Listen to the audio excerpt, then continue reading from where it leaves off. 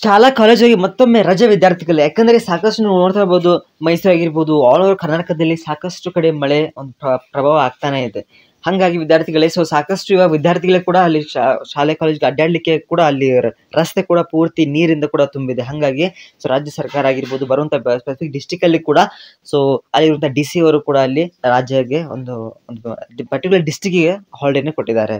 So ನಿಮ್ಮ district ಅಲ್ಲಿ ಯಾವ ರೀತಿ ಇದೆ?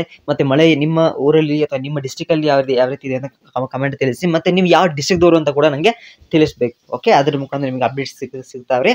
ಅದೇ ರೀತಿ ವಿದ್ಯಾರ್ಥಿಗಳಿಗೆ ಬರುವಂತ ದಿನಗಳಲ್ಲಿ ಸೊ ಸಾಕಷ್ಟು ಇವಾಗ ಮಳೆ ಇನ್ನೂ ಪ್ರಭಾವ ಇನ್ನೂ ಒಂದು ಎರಡು ಮೂರು ವಾರ ಸಾಕಷ್ಟು ಇದೆ ಅಂತೆ. ಸೊ ಹಂಗಾಗಿ ಶಾಲೆಗಳಿಗೆ ಆಲ್ಮೋಸ್ಟ್ ರಜೆ ಇರೋದು ಹಂಡ್ರೆಡ್ ಪರ್ಸೆಂಟ್ ಸೊ ಯಾಕಂದ್ರೆ ನೀವು ನಿನ್ನೆ ಕೂಡ ಟಿವಿನಲ್ಲಿ ಕೂಡ ನೋ- ನೋಡ್ತಾನೆ ಇರ್ಬೋದು ಬರುವಂತ ಎಲ್ಲ ಒಂದು ಆಲ್ಮೋಸ್ಟ್ ಆಲ್ ಮೈಸೂರು ರೋಡ್ ಆಗಿರ್ಬೋದು, ಪೂರ್ತಿ ಕಾರ್ಗಳು ಕೂಡ ತೇಲಿ ಹೋಗ್ತಾ ಇದಾವೆ. ಹಾಗಾಗಿ ಇಂಥ ಸನ್ನಿವೇಶದಲ್ಲಿ ಶಾಲಾ, ಕಾಲೇಜಿಗೆ ಶಾಲೆ ನಡೆಸೋದು ಕೂಡ ಸೂಕ್ತವಲ್ಲ ಅಂತ ಮಾನ್ಯ ಬಸವರಾಜ ಟ್ವೀಟ್ ಮಾಡಿದ್ದಾರೆ. ಎನಿ ಹಾವ್ ಸೊ ಲೆಟಸ್ ಏನಾಗುತ್ತೆ. ಸೊ ವಿಡಿಯೋ ವಿಡಿಯೋ ಲೈಕ್ ಮಾಡಿ ರಸ ಅಂತ ಇದ್ರೆ ಸಬ್ಸ್ಕ್ರೈಬ್ ಮಾಡ್ಕೊಳ್ಳಿ.